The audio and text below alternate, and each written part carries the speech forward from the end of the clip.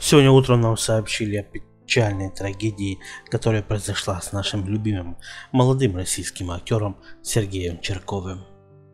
Друзья, об этом еще не знает ни один телеграм-канал и ни одна газета в интернете. Вы одни из первых, кто сейчас об этом узнает. Нам сообщают о том, что всем известный российский актер Сергей Черков на данный момент уже находится в больнице с тяжкими телесными повреждениями. Мы смогли выяснить, что с ним произошло, и теперь об этом хотим рассказать вам. Оказывается, во время съемок на съемочной площадке он по сценарию должен был прыгнуть с парашюта на небольшой высоты. К сожалению, приземление получилось неудачным, и он оказался в больнице с тяжкими телесными повреждениями. Сейчас съемки фильма приостановлены, а полиция ищет виновных для того, чтобы привлечь к уголовной ответственности.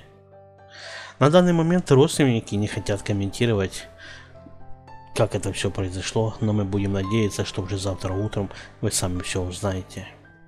Следите, друзья, за нашим каналом, подписывайтесь на нас и не упускайте нас из виду.